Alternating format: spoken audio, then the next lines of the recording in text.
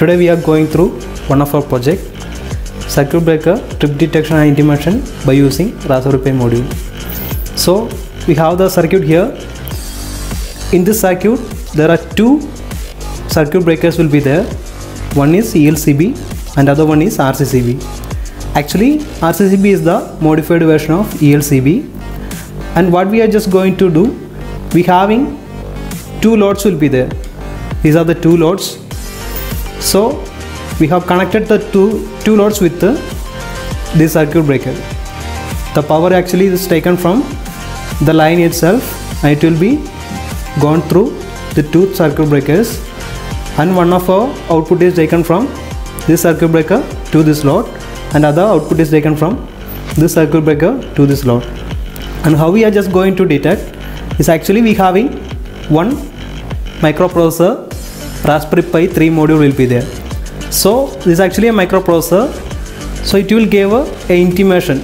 We will, it will just give a intimation which one is operating which one is closed.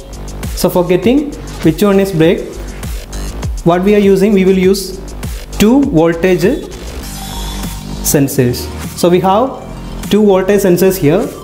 This is the one of the sensor this is the other sensor. So it have been fixed after two circuit breakers. Here for the circuit breaker we are using this system. And for this circuit breaker we are using this one of other system. Okay? So it's actually the voltage sensor is a, like just like a potential transformer. We are using a potential transformer. We are converting it to a dc value. So with respect to the voltage one of the dc value rms value will be here. And it will be given to adc converter mcp 3008 and analog value will be converted to digital value and the digital will be given to our microprocessor. It's actually happening. So from the two sensors we have just taken the data and given to adc converter and after that we are just get, given to microprocessor. So, so that's it actually. So we have two loads here and this is the second load. Actually these are one of the elcb that means earth leakage circuit breaker and other one is rccb that means residual current circuit breaker. So actually i told you before rccb is the modified version of elcb so actually what happening? This having actually these both are works on earth leakage system. Whenever a current is passing through air is actually a loss. So the current will be detected by the circuit breaker and the circuit will be shut down by these circuit breakers. So that's actually happening. So we have to make a earth system. So we have to make a leakage current. So what we are just doing instead of earth we are just we have taken one other load. A small load will be taken. So for acting like a earth we are using one of our load here.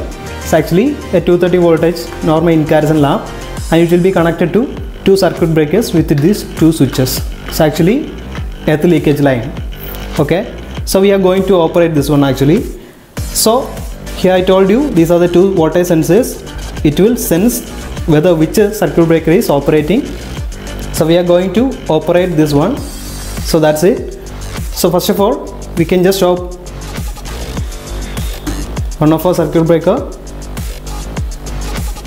So ELCB is online now.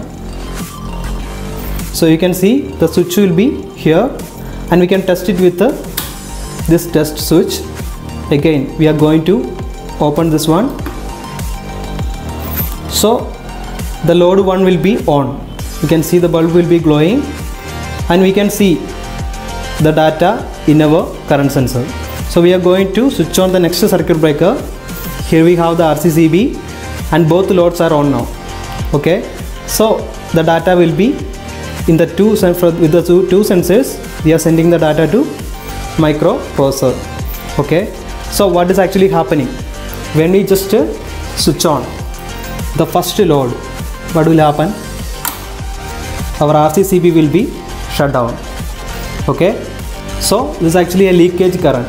So leakage due to this leakage current the first load will be shut down when we switch on the next one you can see both of the circuit breakers get shut down.